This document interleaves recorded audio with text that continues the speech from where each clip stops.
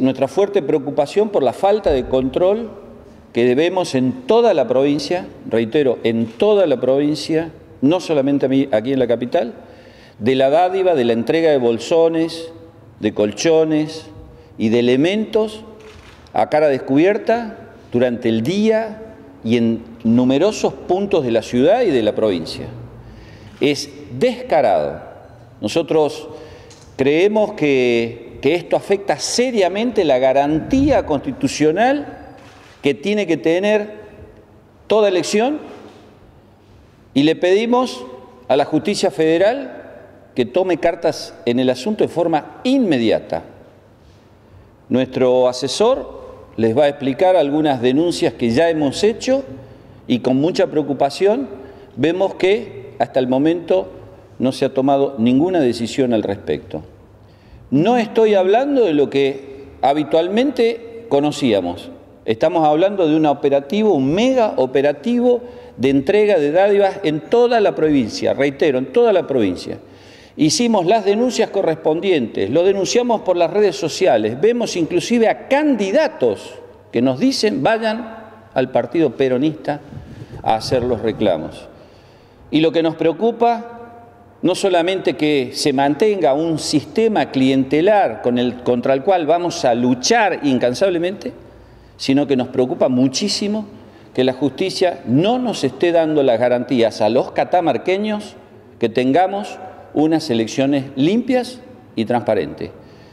La responsabilidad de la justicia electoral no se ciñe al mismo día de la elección, se ciñe a todo el proceso electoral.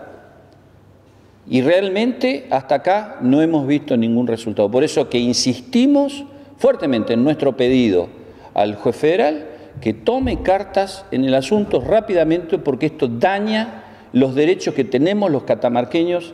de votar libremente. Yo le voy a dar la palabra aquí al doctor Ezequiel Stern, que les va a comentar algunos detalles, solamente algunos detalles, porque son muchísimos,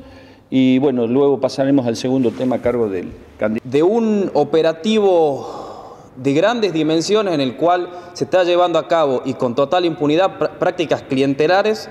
que son absolutamente contrarias al espíritu democrático que debería primar durante estas elecciones.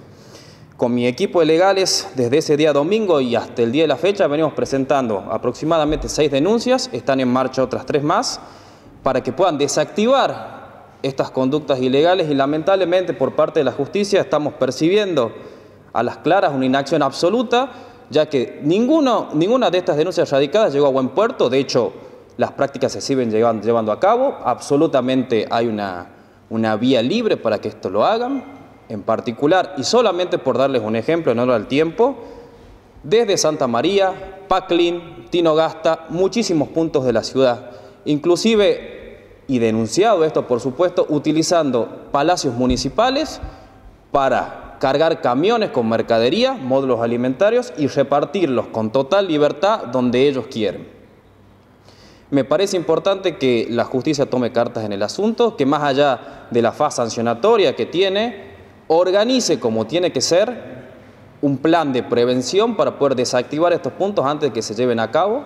que respondan, por supuesto, a nuestras inquietudes que se le estamos haciendo en tiempo y forma. De hecho, nosotros ayer tuvimos una reunión con, el fiscal penal federal, el doctor Merep, en el cual lo pusimos al tanto de estos temas para que se aboquen como tiene que ser. Lamentablemente, hasta el día de la fecha, la situación sigue exactamente igual y me animaría a decir que todavía peor porque estamos acostumbrados que a medida que se acerca el día de la elección, el día domingo, esto va en ascenso. Solicitamos y reitero en palabras de, Flavio, acá está en juego la transparencia del de la elección. Es importante de que al día domingo se, lleve, se, llegue con total regularidad, fuera de todas estas artimañas que lamentablemente estamos acostumbrados y sumamente robustecidas a comparación de las PASO eh, para este domingo. Eh, en síntesis, están llevando a cabo prácticas clienterales que están en contra del Código Nacional Electoral, que, los pune severamente porque el bien jurídico protegido es ni más ni menos que la transparencia y la regularidad de unas elecciones de tipo nacional, donde se ponen en juego muchas cosas, eh, que hagan lo que dice la ley y que en el caso de constatar como tiene que ser los extremos legales requeridos, se aplique la ley con todo el rigor para que estas conductas no se vuelvan a replicar.